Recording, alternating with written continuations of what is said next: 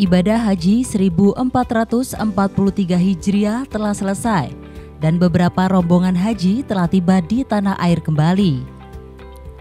Selain rasa syukur dan keselamatan, jemaah haji ini tak lupa untuk membawa buah tangan khas tanah suci. Dan inilah suasana kios oleh-oleh yang berada di Komplek Asrama Haji Donohudan, Kabupaten Boyolali, Jawa Tengah ratusan jemaah haji berdesak-desakan untuk membeli buah tangan untuk dibagikan ke keluarga dan sanak saudara di rumah.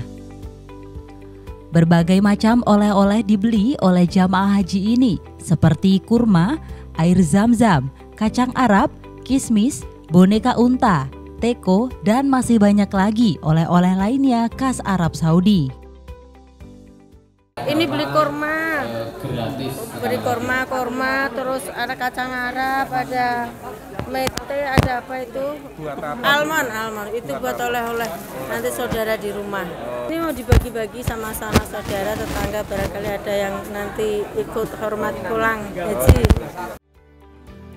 Rata-rata para jemaah haji bisa menghabiskan hingga jutaan rupiah untuk membeli oleh-oleh agar bisa memberikan buah tangan untuk saudara dan tetangga mereka di rumah. Dari Boyolali, Jawa Tengah, Herlina Sabto, Adi TV.